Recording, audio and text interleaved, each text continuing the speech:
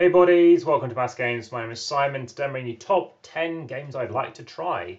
I could say top 10 games I want to try or want to play, must play. These are 10 games I'm curious about. These are games I've seen, I've heard about, I may have had the opportunity to play but didn't. I'll tell you a bit more about that. And let's crack on with in no particular order really, but at number 10 we have the game Furnace. So Furnace is a game that came out in 2021. It's been one of the top 10, 50, sorry, top 50 most played games of uh, the month of November and the month of October 2021. And of course, check out that playlist, top 50 most played games of all time, by going through of, of any particular month in that playlist. Of course, uh, hit the like button, share, support the channel via Patreon, and follow via Instagram via the description. And let's move on to number nine. Okay, so what are your comments on that? So it seems to be quite a quick game as well. It's quite interesting. Next up, we have Clank Legacy. Now, I've played Clank, I've played Clank in Space. I do like legacy games. I'm keen to know what this one is like in particular. It's uh, definitely up high on my list. It's been on there for a little while now. Highly rated, and it has an overall rank of 34, which is greatly high. As you can see, no rating. It's in my wish list, and there we are. Next up, Smartphone Inc. Well, this seems very apt and appealing, so I don't know. I heard it's not necessarily good at lower player count. As you can see, community three to five. I'm hearing some people think it's okay as a two. Uh, I don't necessarily game just as a two, but it's something to consider. So I'm curious now about the economic game that's around 90 minutes. It's 60 90. Uh, well, that's on side of caution. Interesting theme, interesting kind of layout. I'm not sure about that, but it's interesting. Yeah, nice artwork on the front as well. It reminds me of It's a Wonderful Kingdom and It's Wonderful um, world, but that's a different uh, artist, I've been told. And this seems to be implemented by Mobile Markets, so a Smartphone Inc. game, very interesting. So I don't know anything about that. I don't know if it's a Kickstarter game, doesn't seem to be, but it's a one to four player game, interesting. So I wonder if that's a better game. Let's just have a quick look at the comments. Seems like it's pretty new. Um, ah, okay, interesting. All right, so Let's uh, crack on with some more stuff. Oh dear, there's a four. Right. Okay, so next up, Hadara. Now, this is the guy who has made Crown of Emara, amongst other games, Benjamin Schwer. Seems very interesting, Z-Man games. I haven't played it, as you can see. Curious, same rating as Crown of Emara, so looking forward to seeing how uh, this one pans out. Yeah, Crown of Emara is all the way over here, so we're going to have a quick look at that. And yeah, it's still 7.5. It's been 7.5 for as long as I can remember, and that's been quite a long time. So it's still holding on. You can rank this based on rating. Buttons is a game I did not like very much. You can play that on Board Game Arena. Let's go for rank, which I don't think can be very helpful. Let's go on average rating. Okay, so yeah, nothing else to split them. Promo cards have dropped, interestingly. So up next, we have got, as you can see, a 4 out of 10. I gave this, does very little for me, yeah, and then you can see the ratings isn't particularly good either.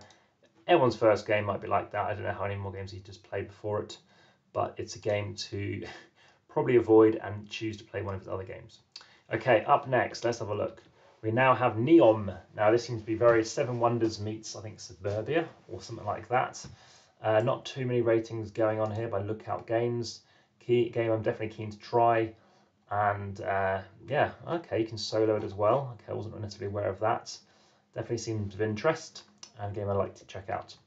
Up next, Alubari, a nice cup of tea. Nearly uh, had this game but didn't, unfortunately. Something kind of fell through, and uh, I had the opportunity of just having the game but didn't, unfortunately. So yes, this is the guy uh, by Tony Boydell who made Snowdonia, re-implements it.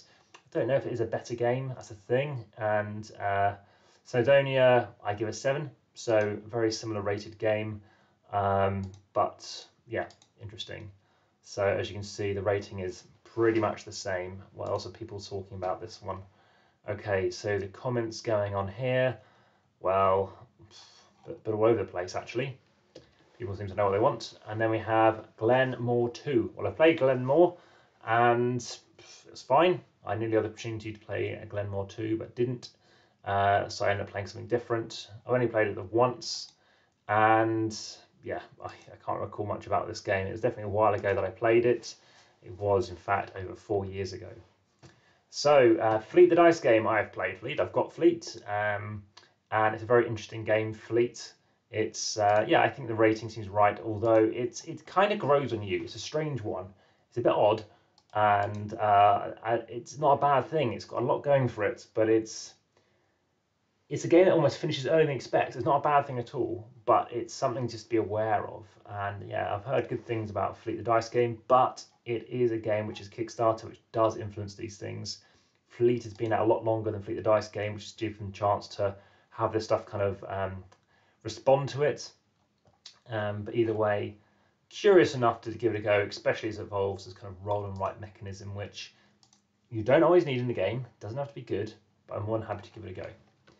Okay, so Tapestry, I think is the second one out of my top 10, so in at second place.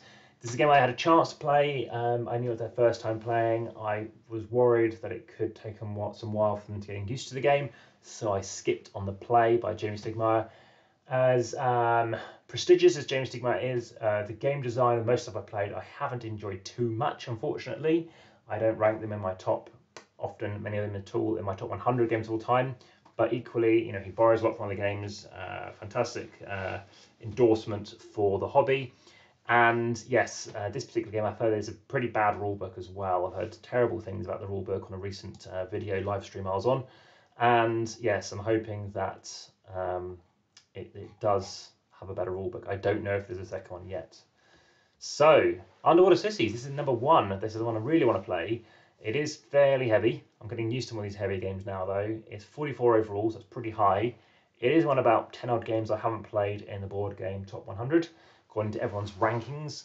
And it's a game I'm very keen to play, 30 to 45 minutes per player, so I'm hoping it doesn't take too long. Again, it seems to be best as a two, so two or a three. I'm very keen to try this one out by Vladimir Suchý. I played a few of his other games.